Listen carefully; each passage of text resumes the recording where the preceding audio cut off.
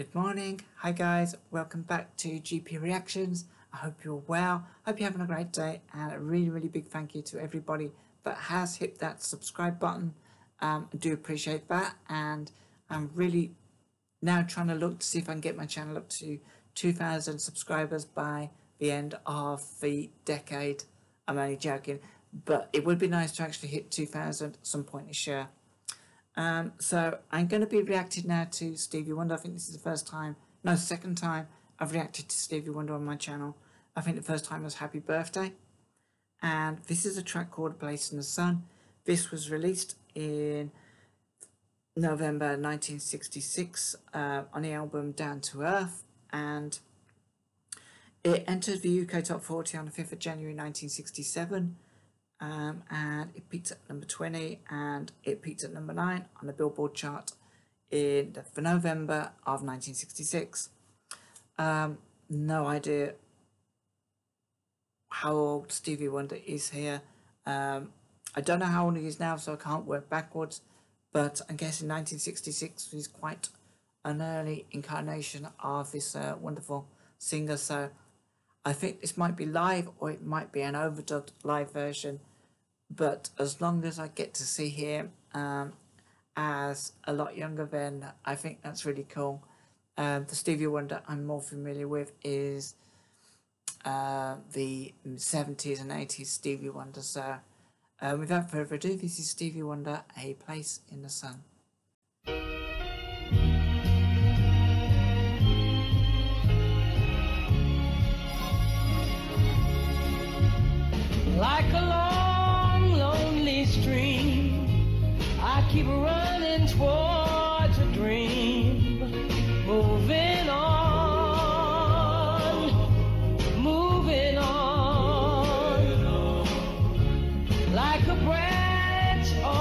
Tree.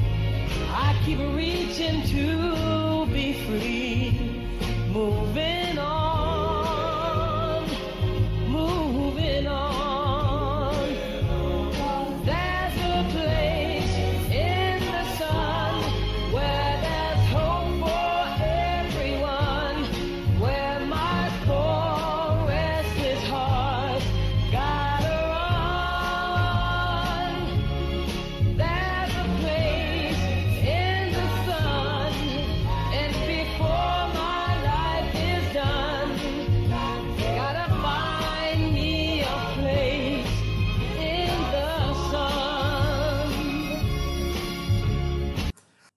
yeah, it's, it's great to see uh, Stevie Wonder um, at this this age. I mean, I reckon he's probably about uh, twenty years old here. I'm just just a guess. Um, 1966 as well. I wonder what's going on. This song has got such a lovely warm feel about it, but um, I'm kind of thinking at the back of my mind that uh, 1966 America uh, was at was at the, at the height of the civil rights movement. So I'm thinking that because this is, if this song had been made maybe 30 years later, I think that the lyrics would be slightly more obvious. Um, but when I was listening to this, uh, you know, Place in the Sun, I think it's, uh, they're basically not talking about going somewhere sunny. I think it's a better way of life, um, an easier way of life. Um, that's just what I'm taking from this so far. Um, but yeah, loving it like an old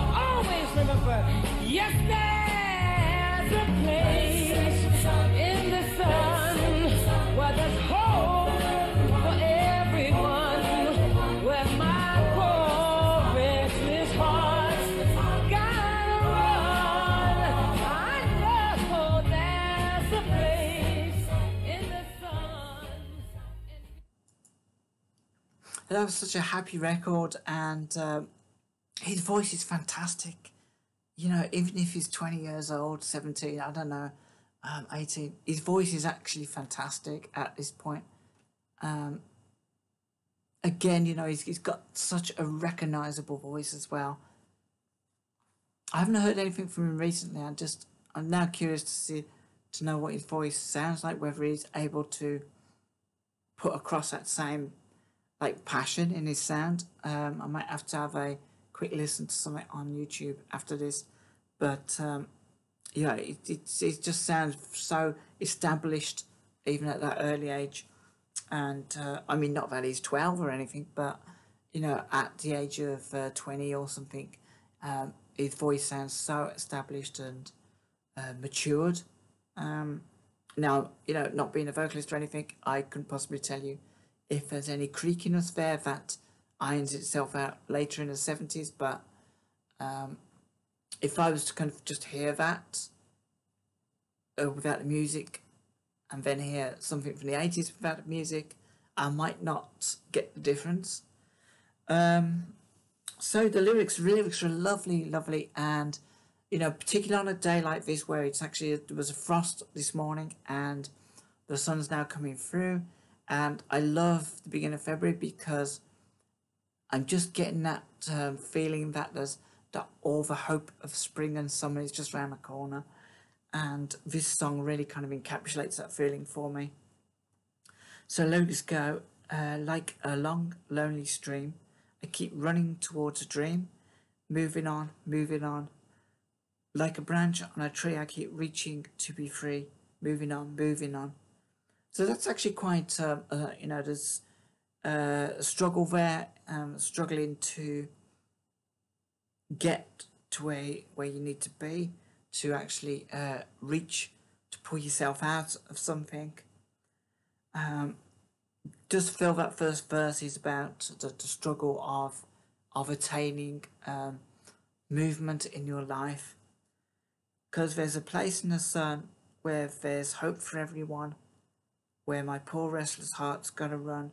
There's a place in the sun and before my life is done I'm gonna find me a place in the sun. Like an old dusty road i get weary from the load. Moving on moving on. Like this tired troubled earth i've been rolling since my birth. Moving on, moving on.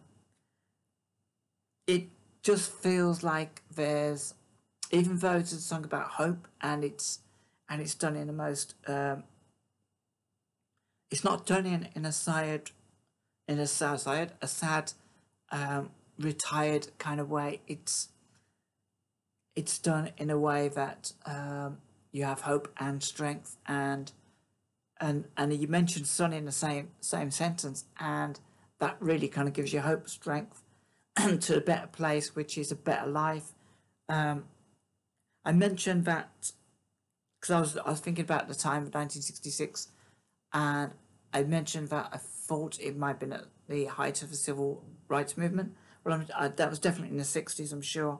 And it probably it can very much continues today but um, this song may have had a a a, a meaning towards maybe a slight um not protest song but maybe social commentary on how many people of color may have felt um, all that may, many people who were just simply poor may have felt um, during the 60s in America I'm not entirely sure what the um, socially economic landscape was like, but um, obviously the one thing that does stand out is the civil rights movement. Um, there was probably the uh, nuclear issue with Russia and Cuba, maybe at the time as well, but it does make you feel like you can either be very angry and uh, very depressed about a situation, or you can use uh, hope, even if it's hopeless, you can use hope and strength to actually pull yourself to somewhere better. And um, it starts with a dream, and um, and then it becomes practical. So um, I keep running towards a dream. I keep reaching to be free, uh, like a branch on a tree. Um, and then the final kind of verse is You know when times are bad and you're feeling sad, I always want to remember, yes, there's a place in the sun. So it's there's a comparison between, you know, um, life when it's really, really bad and um,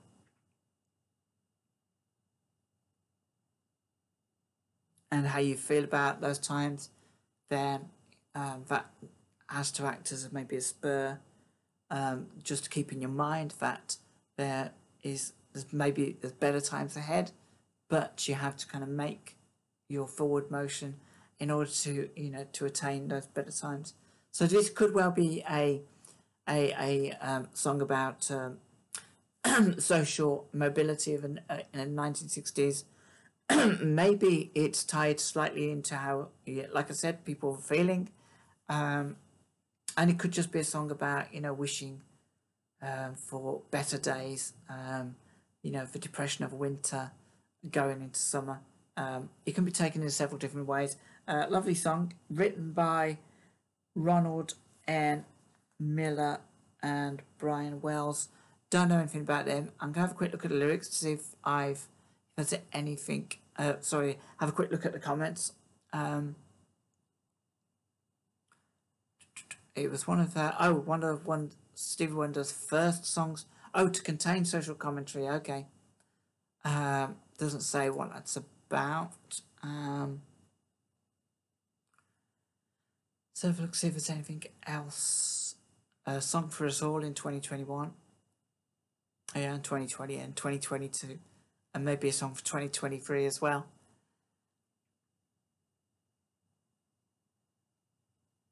Um, I can't believe I've never heard this song. Such a strong spirit and strong message. It's actually quite a strong message and it's uh, full of hope as well. Even though some of the lyrics are quite, um, um, you know, contrasting between uh, bad times and good times. And um, it's a song that isn't just a dreamy Wishing on a Star kind of song. It's a song that is has a practical overtones as well.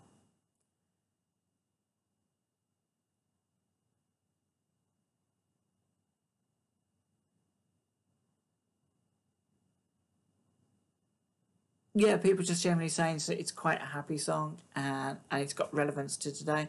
Most really, really good songs have um, an eternal relevance to the moment in time and um, this is one of those, um, and it's uh, it's a really really good thing. So, guys, let me know what you think about this song and uh, Lord above. If you remember this song when you was younger, um, also let me know and tell me what kind of memories you have about it. And also, if you know what this song is specifically alluding to or not alluding to, then um, also please vocalize that in the comments below. But yeah, till next time, have a great day, have a great week, and hopefully sunshine will continue. Um, not snow, not doing snow this week.